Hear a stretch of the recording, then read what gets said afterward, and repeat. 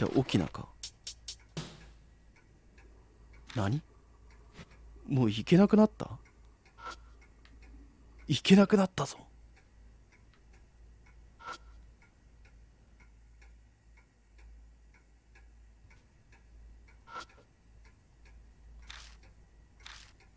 何事もなかったかのように。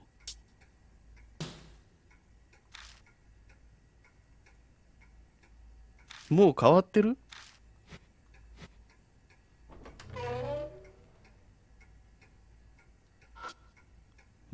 全く同じ内装にしてるってことなのか？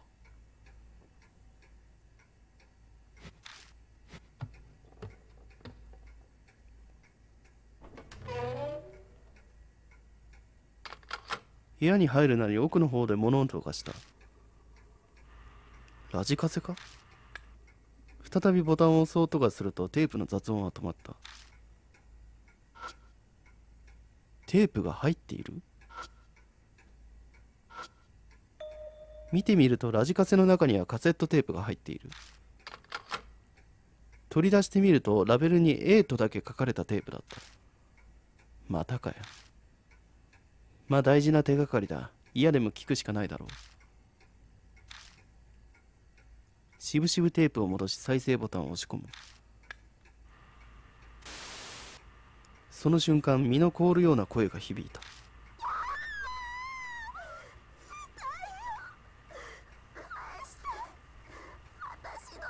ぬ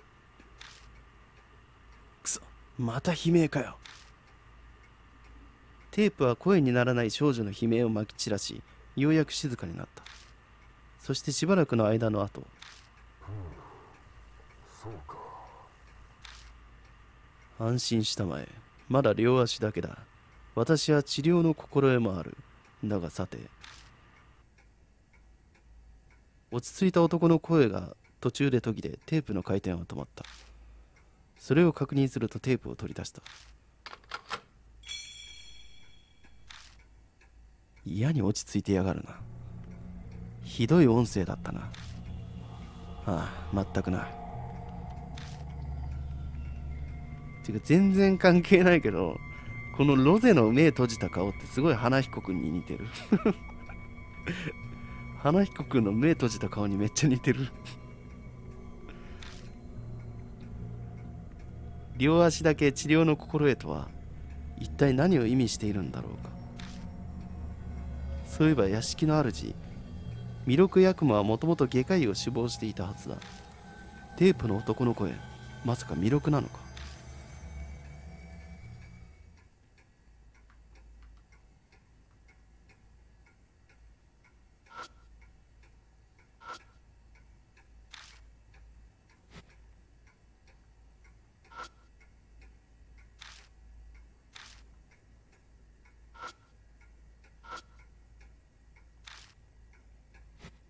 観音兵。そうっすね。もうギトルあたり。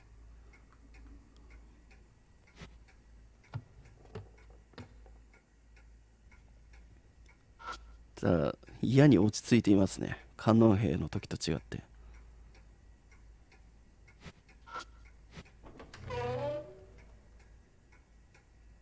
何？キジ犬。沖縄っていうことはあとおばあさんと桃太郎とかかこれ。猿とかもいんのかな。また人形かよ。ここにこんな人形はいなかったはずだ。ロゼの言っていた別の魅力魅力定説もこれを見ると説得力が出てくる。さらに着ている服を見ていると腹に薄いシミがついている。腹に。やってみるか。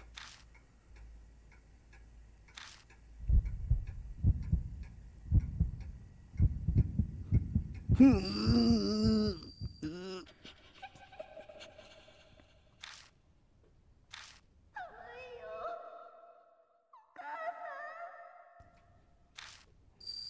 がっかり。寒い。この子がそう言っていたのかい？ああはっきり聞こえた。寒いお母さんと。残念ながら暖房はないね。ここでどうにもならないようならこの子をどこかに担いで運ぶしかないな。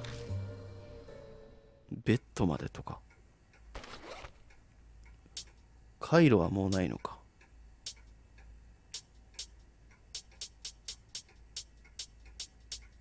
担ぐしかなさそうだな。人形運びますか？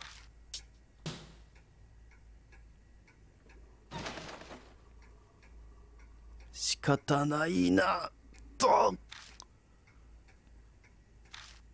本物の子供よりも重量があるように感じた。気をつけろ。人形は力を入れてくれない。人体よりずっと重く感じるぞ。なるほど。確かにそんな感じだ。さてと問題はどこに運んでやろうかってことだな。人形を持ち抱えてる間は操作できません。ベッドしかないでしょう。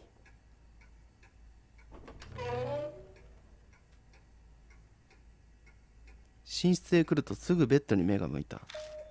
いかにも上等そうな寝具だ。これなら寒くはならないだろう。よしそいつだな。奥のベッドに寝かせるから布団を退けてくれ。仰せのままに。よいしょっと。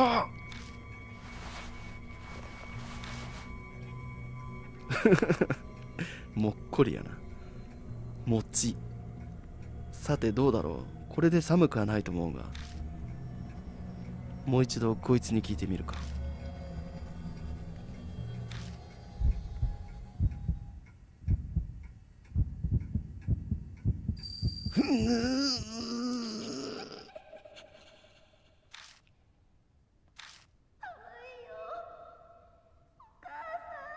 がままやな。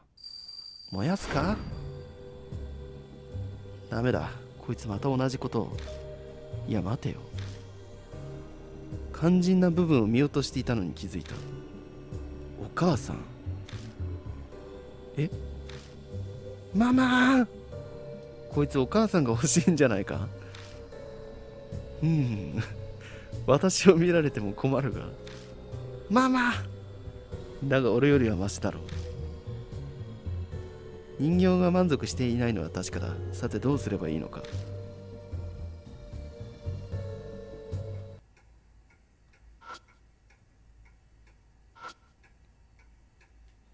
人形お母さんを求めているようだ。おいロゼ。悪いが頼めないか。うーん。ほら私にもイメージというものがあるからな。悪いけど今はそんなもんどうでもいいんだよ。まあいいさ弟子のためだ。一肌脱ごう。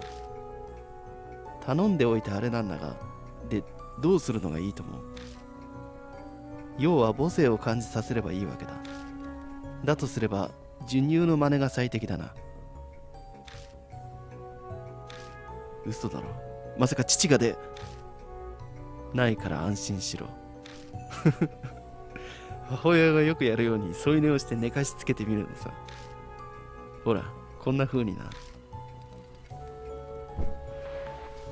ロゼは人形の横に滑り込むとその頭を撫でて言葉をかけた。怖かったね。もう大丈夫よ。お母さんが一緒だからもう何も心配することないわ。怖い夢は全部終わり。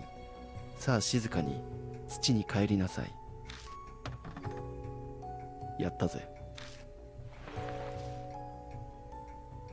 おいのくん。犬のお面を持っていた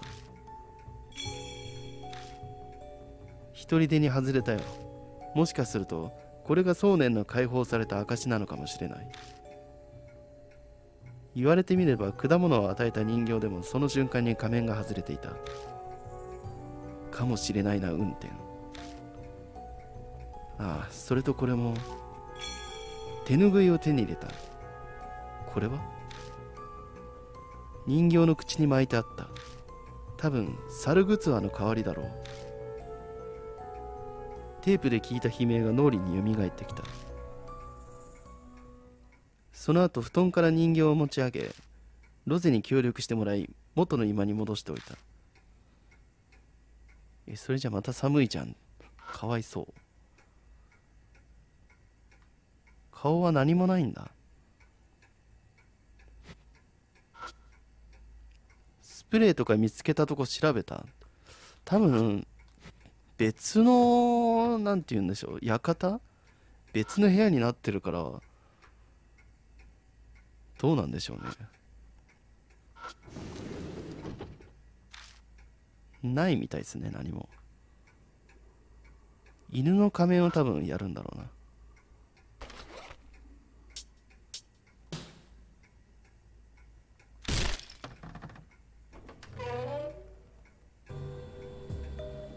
すると以前と同じように隠し通路の入り口が現れた。うん予想通りだね。もしロゼの説が正しければこの先にはまた別の魅力亭があるわけか。そういうこと。さあ行ってみよ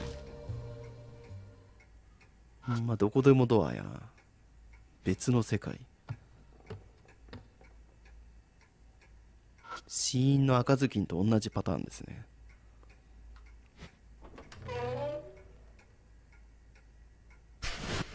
何？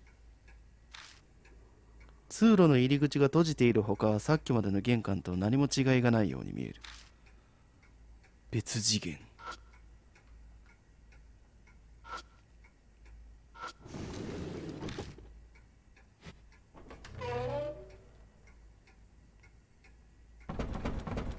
部屋に入ると玄関から戸を叩く音がした。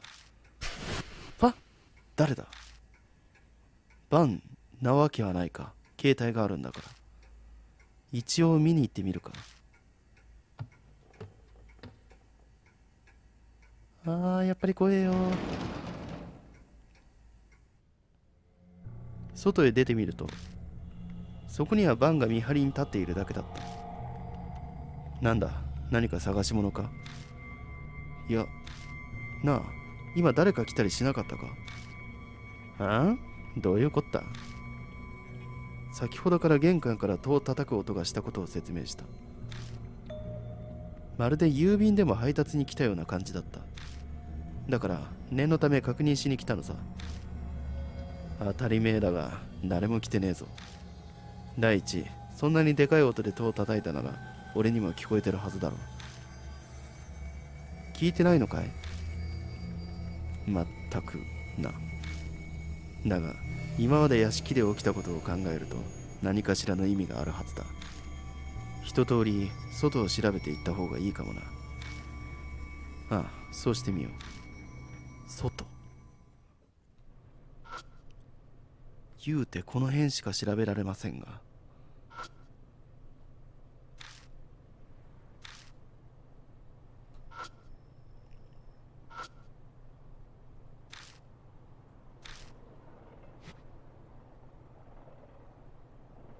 ないっすね。ん？ないか。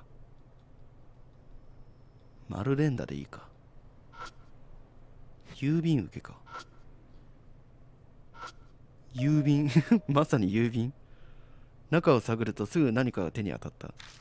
それは S とラベルにあるカセットテープと手持ち花火だった。手持ち花火？テープはともかくなんで花火なんか？よく見ると花火の先端には焦げ跡がある。どうやら一度着火したものの途中で火が消えてしまったようだ。普通に考えたら嫌がらせだろうね。近所とは没交渉だったんだろ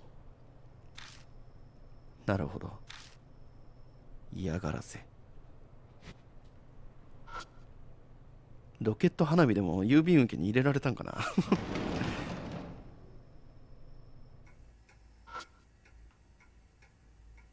テープか。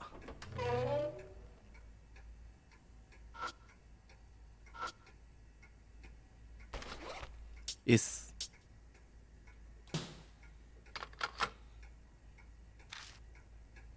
ラジカセにテープ S を入れるとため息とともに再生ボタンを押した。しばらくの空転の後ノイズとともに悲鳴が吹き出した。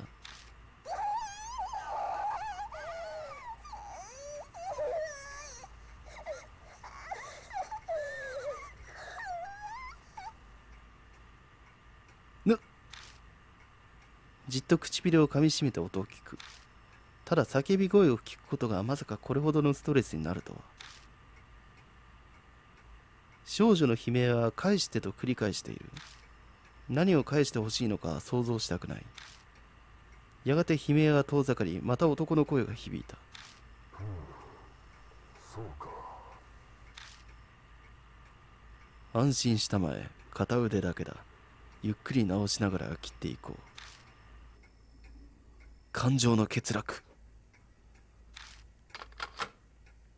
ふうふう意味深。ようやくだがこの男が少女たちに何をしていたのかそれが分かった気がする。犠牲者の手足を切断してやがったのは今までのテープからも明らかだ。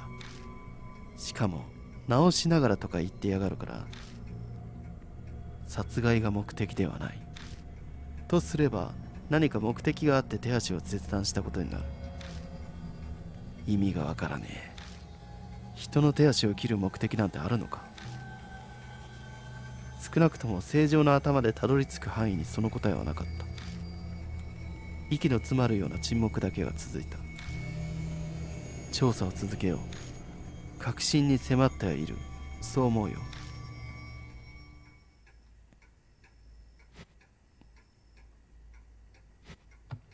また人形が新しい人形が増えてるってことか。そっち見てる。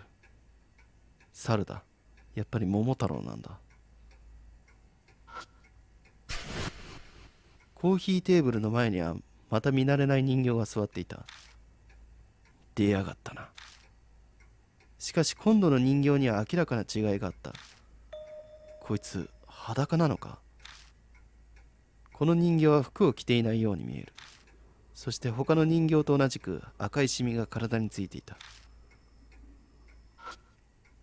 この人形の声を聞けるかもしれない。深く息をして背中のシミへと指先を伸ばす。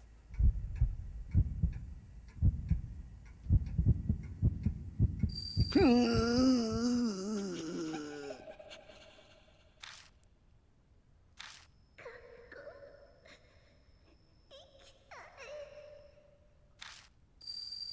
完全に誘拐。まためんどくさい注文を出しやがって。聞こえてきた声はおそらく学校行きたいということだろう。しかしどうすればその願いを叶えられるのか。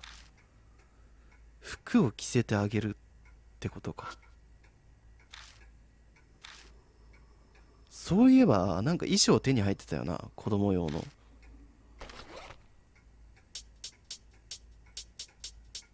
水平服と可愛い靴下。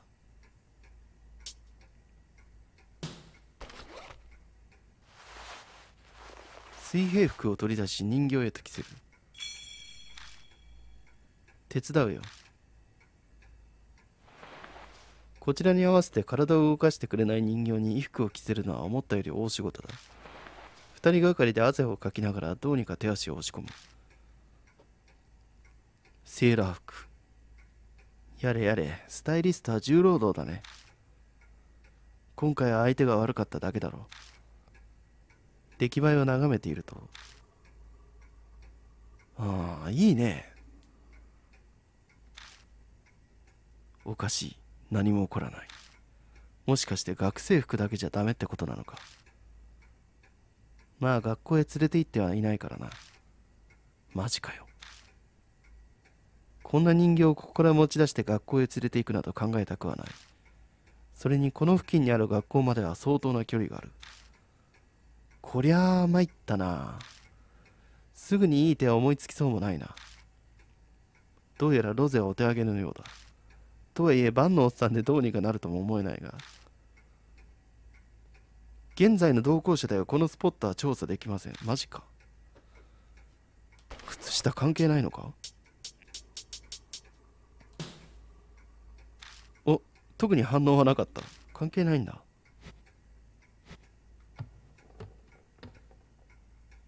バンは教師の免許を持ってるとかそういうそういうやつ。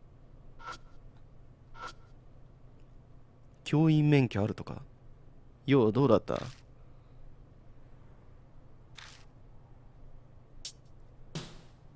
わかった。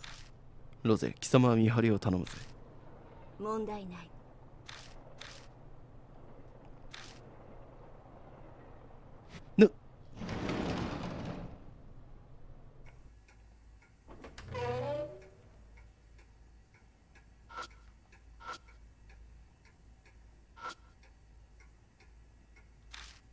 学校に行きたいという人形の願いをこれ以上どう叶えてやればいい？おいのお前そいつの隣に座れ。は？突然なんだよおっさん。いいから黙って座れって。それにな俺はおっさんじゃねえ。今からお前らの先生だ。いいな？あええ。バカバカしいと思いつつとい言われた通りに人形の隣に座る。じゃあ前回歴史の授業で教えたところそのおさらいからだ。まずは平安京変革。これは何年だ？変との答えてみろ。教師のふりをした番がまるで生徒にするかのように俺を指名する。ちなんだよこの茶番は。えっと確かあれだ。泣くよなんたら。そうそうだ。7 794年だろ？いいぞ。しっかり復習してるな。じゃあ次の問題は隣のバンが人形を指さして問題を出す。鎌倉幕府成立。これは何年だ？しかし人形は沈黙したままだ。ち仕方ねえな。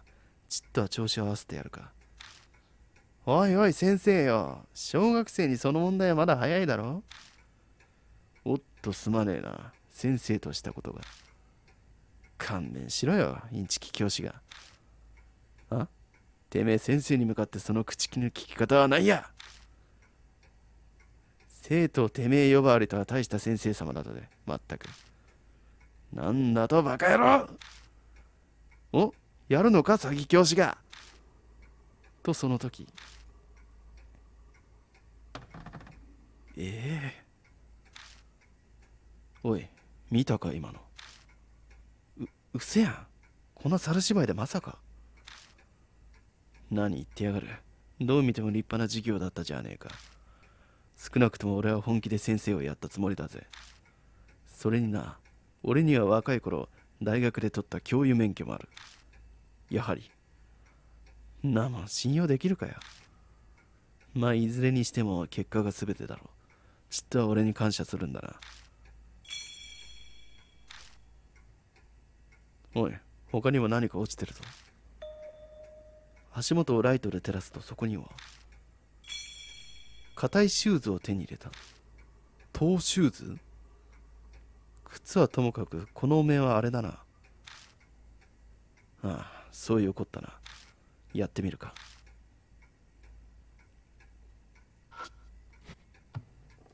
これロゼに変えてもいいのかな？